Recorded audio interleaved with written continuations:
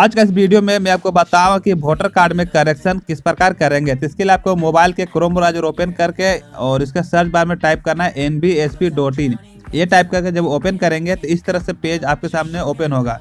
तो सबसे पहले आपको क्या करना है? नीचे देखिए लिखा हुआ है लॉगिन और रजिस्टर आपको इस पर क्लिक करना है। तो यहाँ पे क्लिक करने के बाद सबसे पहले आपको लॉगिन करना है। तो लॉगिन करने के लिए यहाँ पे देखिए यूज़र नेम है, जिसमें आपको मोबाइल नंबर या फिर ईमेल एड्रेस डालना है पासवर्ड यहाँ पे डालना है। और इस कैप्चा कोड को नीचे डालना है। उसके बाद नीचे से लॉगिन करना है। अगर आप फ़र्स्ट टाइम है तो सबसे पहले रजिस्टर्ड न्यू यूज़र पे क्लिक करना है। यहाँ पे क्लिक करके सबसे पहले रजिस्टर करना है तो यहाँ पे मोबाइल नंबर डालना है कैप्चा कोड डाल के सेंड ओटीपी पे क्लिक करना है। उसके बाद ओटीपी डाल के वेरीफाई करना है। उसके बाद अगर आपका आधार कार्ड का नंबर है तो ऊपर पे क्लिक करना है। यहाँ पे आधार कार्ड का नंबर डालना है ईमेल आईडी पासवर्ड यहाँ पे कंफर्म करना है रजिस्टर करना है। जब आपका यहाँ पे रजिस्टर हो जाएगा तो लॉगिन करने के लिए यहाँ पे आपको ईमेल एड्रेस या मोबाइल नंबर डालना है। डालने के बाद यहाँ पे इस तरह से पासवर्ड डालना है। और ये कैप्चा कोड का आपको क्या करना है? नीचे डालना है। कैप्चा कोड समझ में आ रहा है तो यहाँ से आप रिफ्रेश भी कर सकते हैं। उसके बाद यहाँ से लॉगिन करना है। लॉगिन करने के बाद इस तरह से पेज ओपन हो जाएगा। नीचे स्लाइड करना है और यहाँ पे देखे लिखा हुआ वोटर पोर्टल इस ऑप्शन पे क्लिक करना है।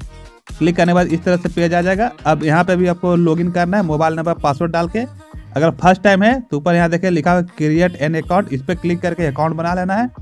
अकाउंट बन जाने के बाद आपको लॉगिन करना है। तो जैसे ही लॉगिन करेंगे, आपके सामने फिर से इस तरह से पेज ओपन हो जाएगा। अब यहाँ पे देखिए बहुत सा ऑप्शन है और सेकेंड में देखिए लिखा हो करेक्शन इन वोटर आईडी इस पर क्लिक करना है। क्लिक करने के बाद इस तरह से पेज आएगा। अब आपको क्या करना है? नीचे यहाँ पे देखे लिखा हुआ लेट स्टार्ट इस पर क्लिक करना है। क्लिक करने के बाद यहाँ पे देखे बोला जा रहा है कि आपके पास वोटर आईडी नंबर है? अगर नहीं है तो नो पे क्लिक करना है, अगर है तो यस पे क्लिक करना है। चलिए यस पे क्लिक करते हैं।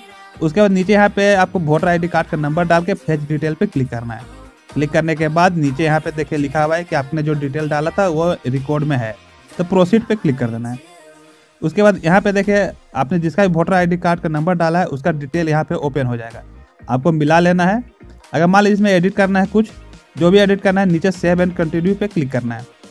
क्लिक करने के बाद इस तरह से पेज ओपन हो जाएगा। अब आपको यहाँ पर क्या चीज़ करेक्शन करना है? तो उससे पहले आपको मोबाइल नंबर डाल के वेरीफाई करना है।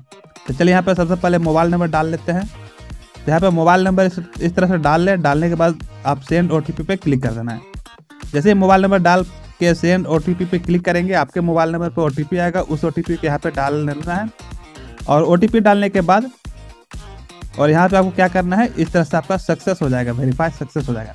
अब यहाँ पे देखें इस तरह से पेज आ जाएगा। अब आपको क्या चीज़ करेक्शन करना है? जो भी करेक्शन करना है उस पर टिक मार्क लगाना इस तरह से। तो यहाँ पे आप नाम भी चेंज कर सकते हैं। Relative date of birth relation gender address photograph उसके नीचे सेव कर देना है। सेव करने के बाद इस अगर जैसे मान लीजिए आपने रिलेटिव चेंज किया तो यहाँ पे आपको अपना डिटेल डाल देना है कि क्या चीज़ चेंज करना है। आपको यहाँ पर नाम सुधार लेना है। तो इस तरह से नाम सुधार नीचे से सेव कर देना है। जैसे सेव एंड कंटिन्यू पे क्लिक करेंगे, उसके बाद थोड़े, थोड़ा सा वेट करना होगा, उसके बाद इस तरह से जनरल डिक्लेरेशन यहाँ पे ओपन हो जाएगा। अब यहाँ पे देखिए आपका डेट आज लिखा हुआ है। प्लेस में आपको अपना शहर का नाम यहाँ पर डाल देना है। यहाँ पे नेम ऑफ़ एप्लीकेंट यानी जिसका आप वोटर आईडी कार्ड चेंज कर रहे हैं, उसका नाम यहाँ पे डालना है। तो यहाँ पे इस तरह से डाल के नीचे से सेव एंड कंटिन्यू पे क्लिक करना है। क्लिक करने के बाद यहाँ पे देखेंगे, कुछ इस तरह से यहाँ पे फॉर्म ओपन हो जाएगा।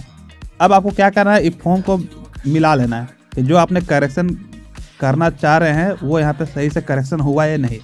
तब यहाँ से बारी बारी से देख लें। अगर मान लीजिए सब कुछ सही है तो नीचे देखें यहाँ पर सबमिट का बटन है। अगर सब कुछ सही है तो नीचे से आपको सबमिट कर देना है। तो नीचे मैं आपको दिखाता हूँ, यहाँ देखें सबमिट का बटन है, इस पर क्लिक करके आपको सबमिट कर देना है। अगर मान लीजिए आपको इसमें से कुछ गड़बड़ लग रहा है, कुछ छूट चुका है तो ऊपर देखें एडिट फॉर्म का ऑप्शन है, इस पर क्लिक करना है, फिर से आपको एडिट कर लेना है। तो चलिए एडिट फॉर्म पर क्लिक करते हैं। उसके बाद इस तरह से पेज आ जाएगा। अगर मान लीजिए इसमें से यहाँ पर टाइप ऑफ़ रिलेशन छूट चुका है तो इस पर इस तरह से टिक मार्क लगा देना है। तो जो भी करेक्शन करना चाहते हैं, इस तरह टिक मार्क लगा के नीचे से सेव एंड कंटिन्यू पे क्लिक करना है। यहाँ पे क्लिक करने के बाद फिर से आपके सामने इस तरह से पेज ओपन हो जाएगा। आज और उसके बाद जैसे जो भी आपने करेक्शन दोबारा करना चाह रहे हैं तो इस तरह से आप यहाँ से करेक्शन कर सकते हैं। उसके नीचे से सेव कर देना है। सेव करने के बाद फिर से आपके सामने जनरल डिक्लेरेशन यहाँ पे आ जाएगा।